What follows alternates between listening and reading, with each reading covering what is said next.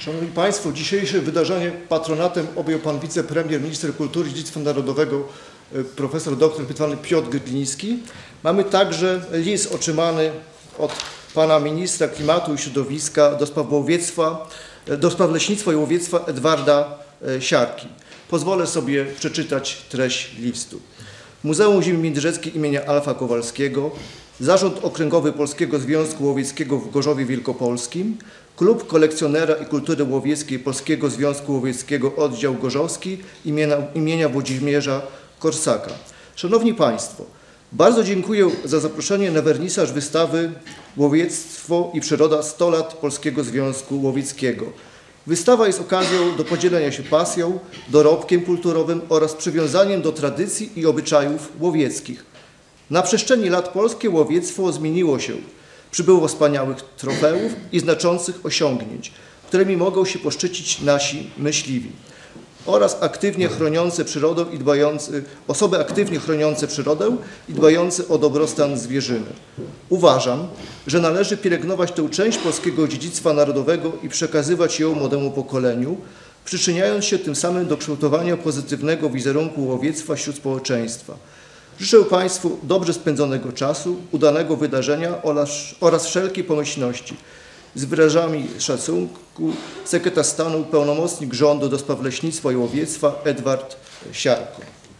Poproszę y, kolejnego współgospodarza i- współorganizatora dzisiejszego wydarzenia, pana Henryka Leśniaka, który pełni funkcję kuratora y, wystawy.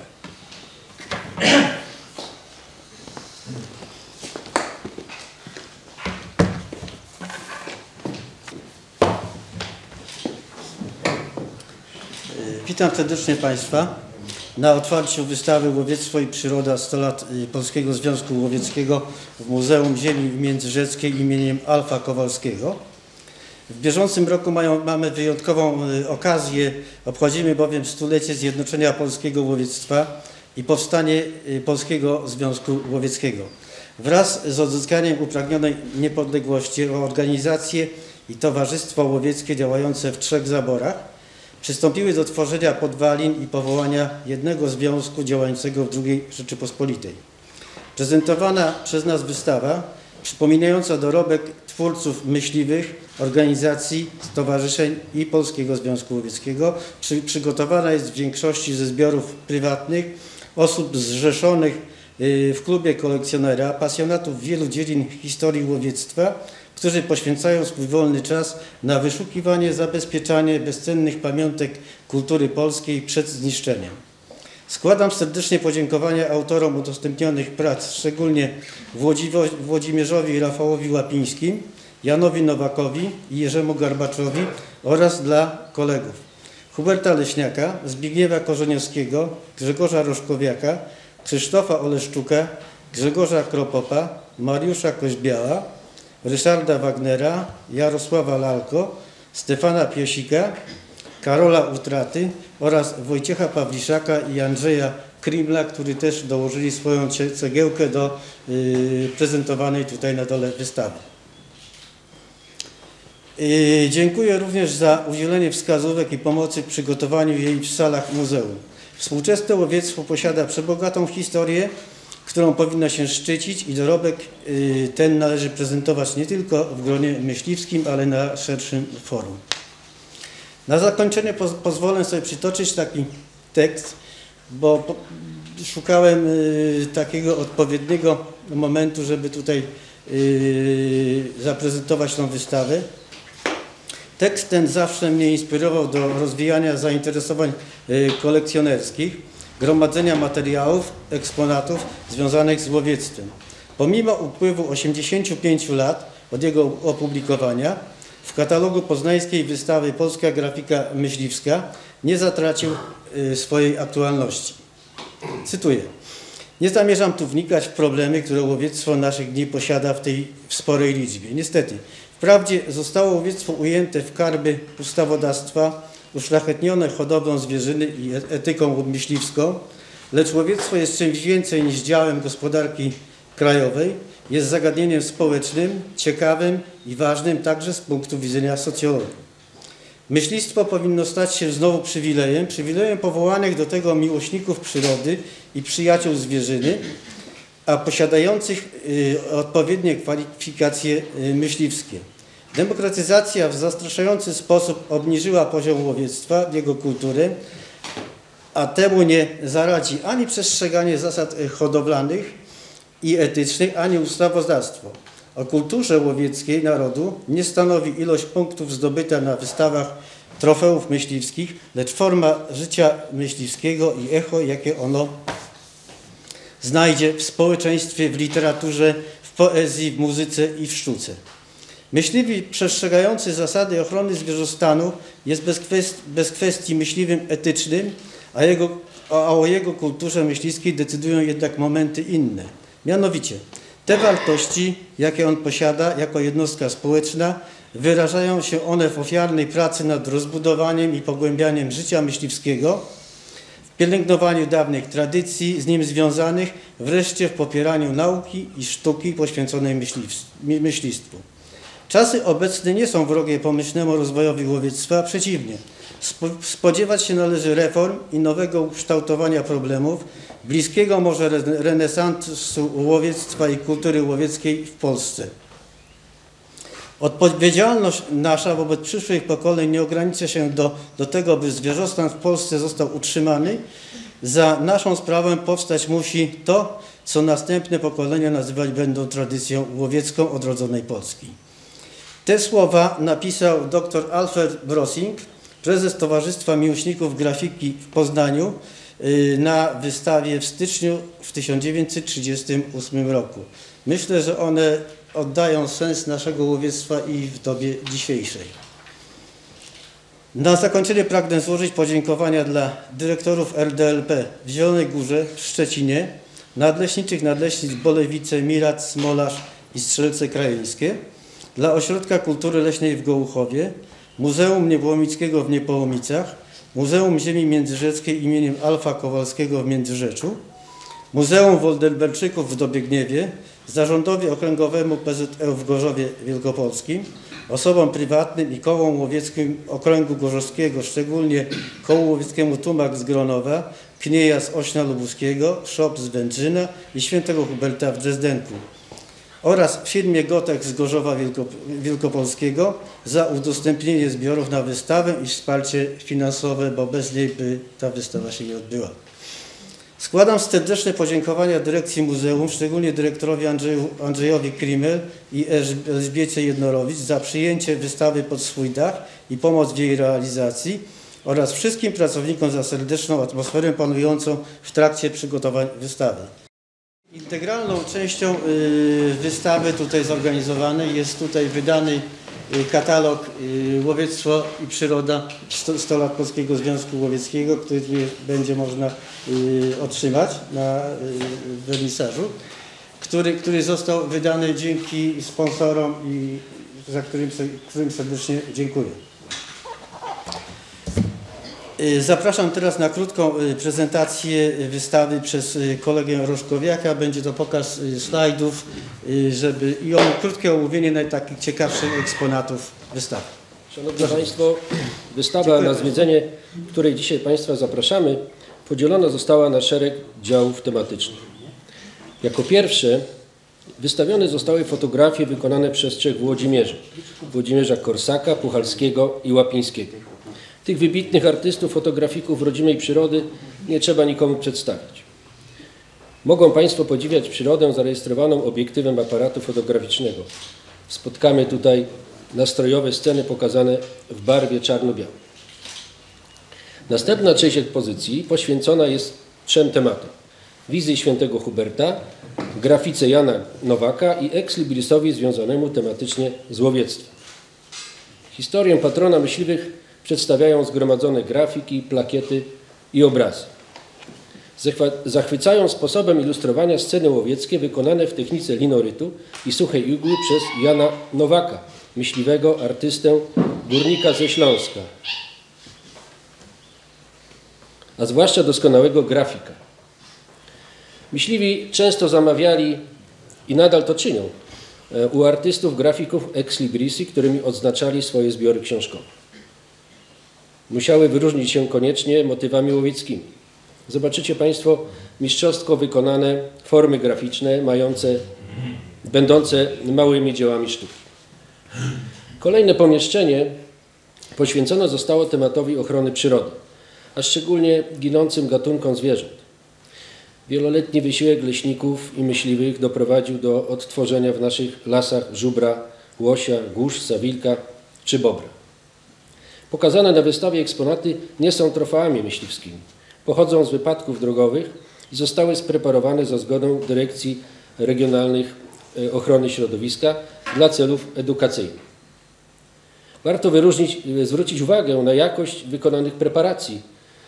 Obok eksponatów pokazano na grafikach i obrazach zwierzęta w ich naturalnym biotopie. Następne pomieszczenie zawiera zbiór malarstwa i grafiki, które zdobi gabinety myśliwskie. Znalazły się tu dzieła wybitnych polskich grafików i malarzy. Pomieszczenie ozdabia komplet mebli wykonanych ze zrzutów jeleni i danieli ze świetnie wkomponowanymi płaskorzeźbami wykonanymi w porożu. Dalej przechodzimy do części wystawy, w której zapoznacie się Państwo z przykładami używanej dawniej broni myśliwskiej. Broni białej, dubeltówek kapiszon i broń kapiszonów. Chciałbym zwrócić Państwa uwagę na cenny zbiór kordelasów, prochownic i rogów myśliwskich. Obok ekspozycja związana z ordynacją zamojską, jedną z pierwszych na ziemiach polskich, która w sposób racjonalny i zorganizowany prowadziła gospodarkę leśną i łowiecką na Zamojszczyźnie przez 350 lat. Pokazane zostały ocalałe, odnalezione, rzadkie dziś elementy umundurowania, odznaki, guziki, broń Straży Leśnej Łowieckiej. W tym samym pomieszczeniu przygotowano ekspozycję, na której można zobaczyć przykłady twórczości artystycznej jeńców o flagu 2C w Woldenbergu, w niedalekim tutaj Dobiegniewie. Jeńcy polscy, oficerowie i podoficerowie, zrzeszeni m.in. w Kole Leśników i Wojskowym Towarzystwie Łowieckim, podczas pobytu w obozie rozwijali wiedzę i twórczość artystyczną. Organizowali wystawy, gdzie prezentowali swoje prace wykonane w trudnych warunkach obozowych, które dzisiaj będziemy mogli obejrzeć. Obok zebrane zostały eksponaty związane z działalnością Klubu Kolekcjonera i Kultury Łowieckiej Polskiego Związku Łowieckiego. Kolejne pomieszczenie przedstawia eksponaty związane z działalnością klubu, klubów łowieckich. Gniazda Sokolników, Klubu Myśli, Miłośników Języka i Literatury Łowieckiej imieniem Zygmunta Jóźwiaka, Klubu Sygnalistów Myśliwskich, Klubu Wabiarzy Zwierzyny PZL, Sekcja Wabienia Jeleni i Wabienia Drapieżników, Klubu Dian zrzeszających polujące panie, Klubu skupiających miłośników ras psów myśliwskich. Kolejna część wystawy to prezentacja dorobku wydawnictw łowieckich na przestrzeni 100 lat. W wystawionych gablotach zobaczymy szereg wydań klasyki łowieckiej, ale także wydawnictwa naukowe, albumowe, poradniki, statuty oraz liczne przykłady prasy łowieckiej. Na zakończenie obejrzymy dwie mapy. Jedna z 1938, a druga z 1993 roku, prezentujące różnorodne bogactwo polskiej przyrody. Z ciekawą historią mapy z 1938 roku warto się zapoznać, czytając tekst zamieszczony obok, obok mapy. Część z Państwa miała okazję poznać ten rzadki egzemplarz, gdyż mapa była prezentowana na wystawie w roku ubiegłym. Korytarzu po prawej stronie od wejścia na wystawę możemy podziwiać wyroby rzemiosła artystycznego i postacie zasłużonych osób dla polskiego łowiectwa. Każdy ze zwiedzających znajdzie coś interesującego dla siebie na wystawie. Życzymy wielu wrażeń podczas zwiedzania. Dziękuję.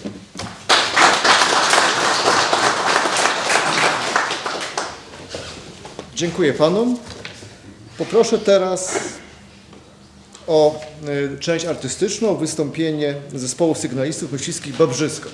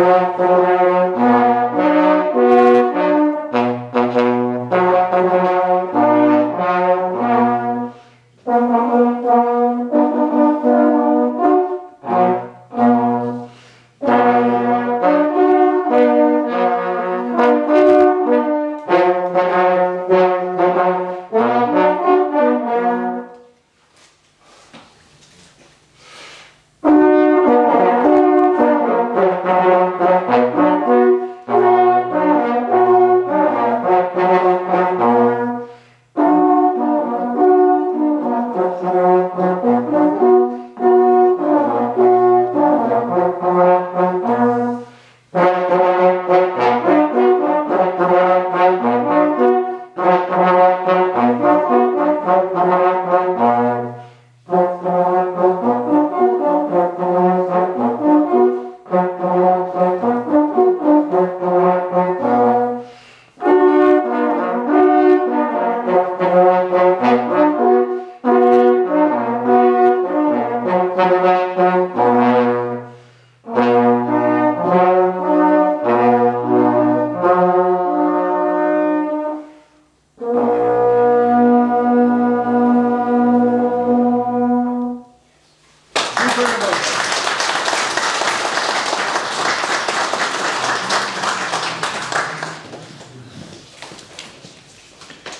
Państwo, chciałbym ze strony Muzeum Ziemi Międzyrzeckiej podziękować Polskiemu Związkowi Łowieckiemu i Lasom Państwowym. Stworzycie Państwo symbiozę, bez siebie nie istniejecie.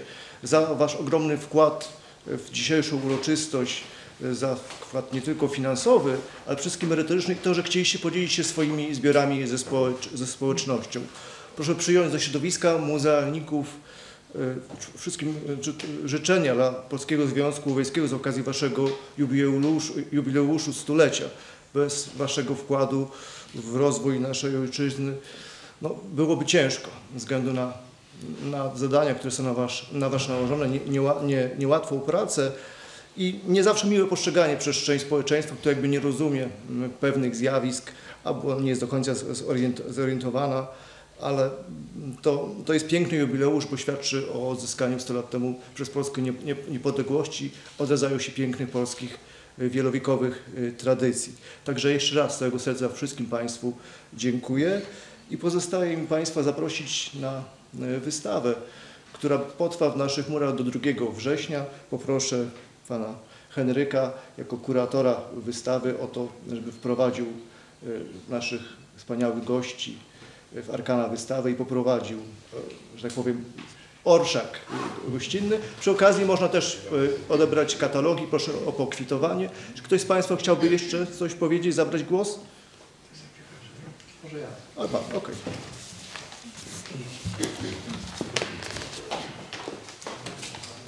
Szanowni Państwo, pozwólcie, że szczególnie podziękujemy tym osobom, które instytucjom, które się bardzo znacząco przyczyniły do tego, że powstała ta, e, ta nasza wystawa. Otóż serdecznie proszę o wystąpienie e, Wojciecha Grochalę, Regionalnego Dyrektora Lasów Państwowych w Zielonej Górze. E, Bardzo serdecznie proszę Jarosława Szałatę, Przewodniczącego Związku Leśników Polskich.